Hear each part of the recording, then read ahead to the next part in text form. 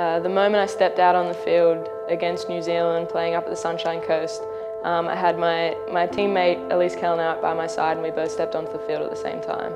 The feeling's kind of undescribable. It's, um, it's everything you've ever worked for and ev everything you've ever dreamed of and um, to share it with 11 other people and, and even more, it's a dream come true. I think the first time I realised that I wanted to represent Australia was when I actually found out there was a women's Australian team. I think I must have been 12 or 13.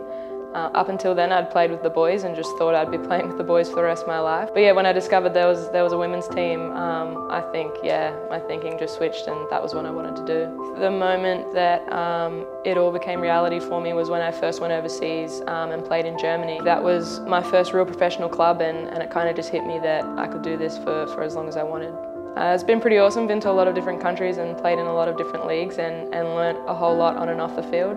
Um, and I think it's pretty, pretty special and not everyone gets to do that. I guess because football is such a major sport around the world, it's just like everything coming together and everyone watching and everyone being pumped for the same thing, whether they're playing in it or watching it. I think it's just, yeah, the enormity of it is what's so exciting. Ultimate is 100% going for, for the trophy. I, I don't know, I think I'd cry if it happened, but that's what we're going for.